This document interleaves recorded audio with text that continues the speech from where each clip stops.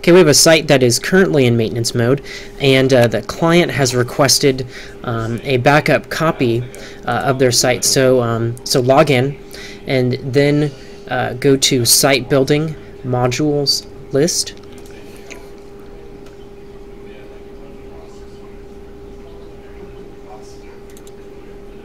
Then on the modules page, uh, you're looking for the backup, uh, content backup module. So enable that.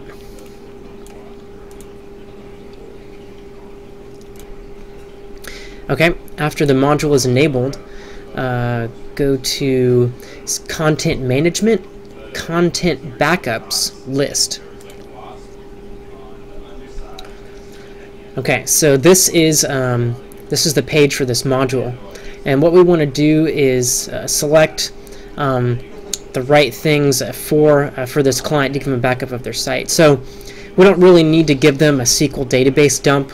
Um, we'd really only give that if, if they kind of requested it. Um, but static HTML uploaded files, and um, you know, give them all the node types, and also check output fully themed um, pages, and then hit download backup. Depending on the site, uh, this could take a couple of minutes. Okay, so uh, the site uh, has just completed the backup. Let's save, uh, just save the file. Um, so we'll name this, you know, name it after the client. So David Potier 2010. And then um, refresh the page. So now you can see um, this is the backup of the site. Uh, you can see we just created it, and then here is uh, the download link.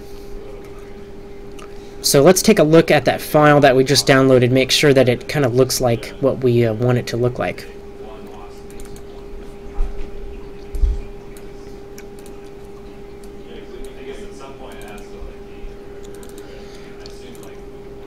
You can see that it just puts the, the NID um, for each page. Let's take a look at uh, node 1.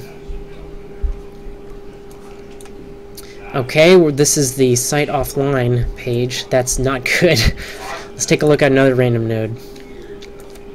Alright, also offline. That's because uh, this client's uh, site is offline. So what we're going to have to do, we're going to have to regenerate um, the backup. Um, so since the site's offline, um, what we want to do is re-enable it. So go to Site Configuration, uh, Site Maintenance. So there's any number of things that could prevent um, the backup from from working. So it went and it hit all the nodes, but it didn't have access to it because the site was offline. So now we're going to bring the site back online. And then we're going to go back to Content Management, Content Backups List. We're going to check our previous settings, and we're going to download backup again. Okay, so here's our second attempt at it, and we're just going to um, we'll just write over our previous one.